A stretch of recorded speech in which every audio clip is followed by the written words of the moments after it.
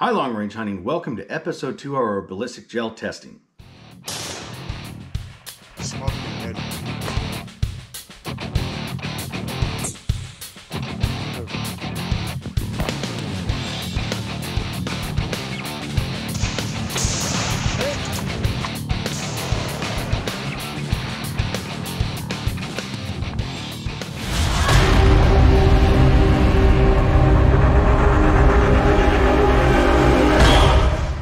What do we have? We are doing test with the Hornady A-tips. It's a new bullet out from Hornady. Um, it's their new top of the line, designed primarily for competition, but I always get the question, can you use them for hunting? The answer, simply, yes. Now, this, to my knowledge, is the only gel test out there. I've never seen it. Hornady might have done some, I'm not sure. I know the guy that did the testing for this. Um, he's hunted with them, was able to kill with them. I know plenty of other people that use them and hunt with them and had amazing results with them, but there has been confusion. And part of this video series um, on studying terminal ballistics with gel is to educate people. Because on the animal it's sometimes hard to see. You can't see that temporary wound cavity that hydraulic shock or hydrostatic shock. Um, and really what people are only seeing for the permanent wound cavity is you know they might see a hole through the heart or they're seeing an entrance and exit hole. And the entrance and exit hole really doesn't tell a lot as far as the entrance um, the exit hole will a little bit more uh, it depends on how the bullet performs and your impact velocity and impact resistance but the A-tip hands down has been my number one request. Now, they are expensive. That's the one thing that I think Hornady messed up with is the price point. I think they alienated a lot of people that would gladly pay and use a bullet like this. As far as reloading, it is a phenomenal bullet. It's incredibly accurate uh, and it's easy to. It's very easy to reload for and load for accuracy. It's not jump sensitive. So just like the ELD match, it's very easy to load. So you're not sitting there struggling, having to sit there and mess with, you know, how far off the lands you are. Now, as many of you know, not only am I not sponsored, so all this comes out of pocket, but I've also got to travel. Um, there's no place locally where I can do this. So a friend in Alabama has th- or has a 300 yard personal range that I can use, which is where I did this testing and some more. Now, because I can't get the distances that I need, I'm looking at having to do reduced loads. Now, I'm not shooting these things at point blank. I have 300 yards to access and use, but I do have to reduce those loads in order to get those lower velocities that, you know, to show the performance, especially when this is generally aimed at long range. Now, I can go up to Louisiana and utilize a range there, but not only do I have to travel for, you know, half a day, but and take a couple days just to do it, but I also have to rent out the entire range. Now I am going to do that at some point. It gets expensive, but uh, Buddy's helping me out with that as far as you know getting me in on that range so I can do this testing. But I did a few different tests. now, now because I do all this on my own, it does tend to be a little slower, especially with bullet availability, trying to find stuff. Um, again, it, these videos have cost me a lot of money out of pocket. Now, a couple friends have stepped up. Some very good people have stepped up and sent me bullets, which really helps me out financially because I'm not having to buy a box of bullets I don't use and then only using a handful of them, and then the rest are just sitting there, and I'm stuck with bullets that I don't normally use. Their generosity, I really want to say thank you to all you guys um, that did that it allows me to test those bullets and do a broader spectrum. I think we have nine bullets now that I can do comparisons on. Uh, buddy of mine in Oklahoma sent me these. He shot an elk last year at 590 yards and anchored it on the spot. Said the terminal performance was great. Now, I, I know a lot of people that killed with these, they've had great results with them, but actually seeing what it does on gel is really what we wanted to see. With these tests, he is primarily going after elk, but I'm doing different animals at different times. So I'm going for a test that's mo- as most anatomically correct as possible. A lot of people, what they do is they'll just grab a whole gel block, they'll shoot through it. They might throw a tanned hide or you know a hardened hide in front of it and shoot through, or they'll try to you know shoot a brisket or you know there, there's people try all different kinds of things but this is the most accurate way I can find to really show people because you're not going to see that temporary wound cavity, that hydraulic shock and hydrostatic shock on the animal itself because it happens in a blink of an eye. I mean, even on gel, you have to slow it down so that you're able to see that.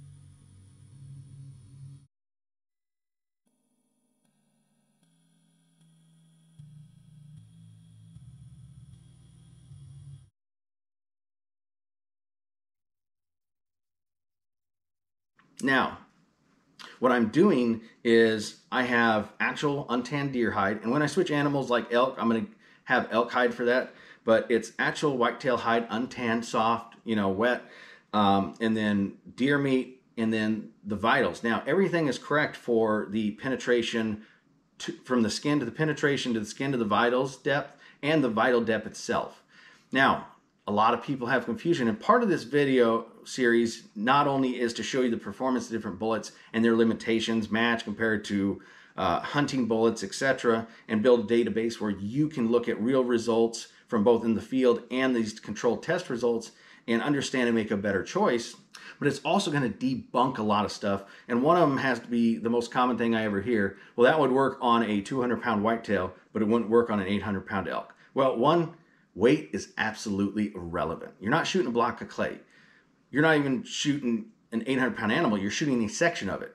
And the weight of it doesn't even factor in how that bullet performs. Um, now, your bullet construction, your impact velocity, and your impact resistance is. Now, the height itself, as I showed in the last video, these bullets just punch through. You're talking about a very thin piece of skin that these bullets are going through at thousands of feet per second and they're blowing through. And generally speaking, all you're going to see is a hole. You're just going to have a bullet hole, no different than if you shot a cardboard or a piece of paper. What's really causing most of that expansion is under the skin to the vitals, that meat, the bone, the connective tissue. That's what's really giving you your expansion. And so it's judging it on how it's going to perform, when it's going to open up. Now, this test was done with an impact velocity of 2,500 feet per second. Now, I ran the numbers for where he's hunting as far as elk and as far as him looking at either a mountain whitetail, because a lot of people don't know there are mountain whitetails, um, but there's not a whole lot of difference between the elk and the deer. The deer is three inches to the vitals, an elk is four, so you only have a difference of one inch there. Uh, a whitetail deer has 10 inches depth of vitals, and an elk has 15. So you're only looking five more inches of vitals, and you're only looking another inch of penetration. Now, the density of the elk itself, the meat and stuff, is going to add a little more impact resistance, but all that's going to do is aid you in expansion. Now, I ran the numbers here um, for where he hunts roughly, and so I went by 6,000 feet of elevation. Uh, I looked up the average temperatures, everything, entered that into the ballistic calculator, and this shot up at where he's hunting would replicate him taking a 700 yard shot. Uh, we got wonderful uh, we got wonderful performance. As you can see, there is a beautiful uh, permanent wound cavity there.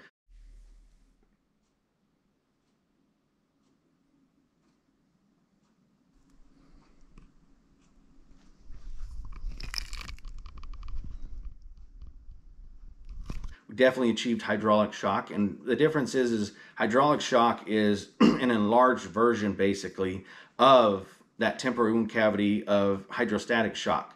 So with hydrostatic shock, you're going to get that temporary wound cavity. It's going to cause damage, cause stuff to rupture, etc. And then it's going to shrink back and you're left with that permanent wound cavity. Now they'll think because they only see a small entrance hole that it didn't perform or even the exit hole that it didn't really dump energy. They'll say, oh, well, it did expand some, but it didn't blow a giant hole or the bullet did not exit and just had a pencil hole through the entrance hole. Again, as I showed in the last video, hides really don't do anything. It's like punching through paper. Unless you're getting up into like elephants, and even elephants, that hide really isn't doing much to that bullet. It's still that penetration of meat, bone, and everything else that's really causing that expansion, not the hide itself. Now, if a bullet doesn't exit and it stops inside the animal, that's not a bad thing.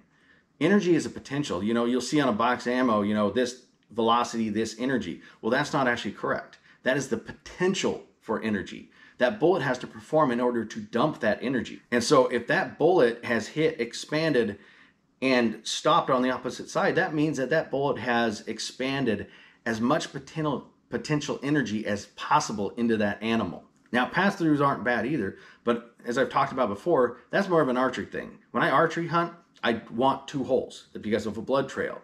Bullets and arrows shouldn't even be compared because they're not even remotely the same.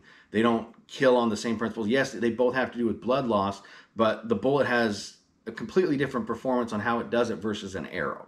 In conclusion, as far as the A-tips go, phenomenal bullet. I really wish that Hornady would drop the price some. I think that they would make a lot more money. Um, if you really want to run a really accurate bullet, yes, you can use them. If you know you can't afford to do that, I would go with the ELD match or a different projectile, the Sierra TMK, uh, the Berger hybrids, which we did testing on and uh, got a couple shots with that. Um, unfortunately, with this, there was a mix-up. I grabbed the wrong stuff, and so I only had one load of the A-tips when I went there. And so I'm going to have to actually go back and do the other velocity shots on that. It left a phenomenal permanent wound cavity. It did tremendous job on the energy, even breaking that table. Um, it blew right through. It would be no issue for a white-tailed deer or an elk. Um, I'm anxious to really see the limits of this bullet because every bullet has its limits. Being able to uh, not only get the higher velocities next time, uh, but also to try to get those lower velocity impacts and find out what the minimum impact velocity is and how that bullet performs. Now I'm going to continue because I again this wasn't the only block I shot. I had to do multiples at one time. Um, I'm going to keep working on those videos and editing and everything and getting them up for you guys. So stay tuned for episode three. Uh, next we're going to be covering the Berger hybrids. Thank you again for everybody that sent in bullets to help me out. I really appreciate it. Uh, thanks to all the members for all your support through all this and help. And, uh, you know, thanks for the new subscribers. Welcome you guys. I hope everybody learns a lot. Uh, any questions, just comment below and I'll try to get to them as soon as I can. If you're in the group and have comments when I link this to the group, uh, you can just ask like normal or message me. So happy hunting.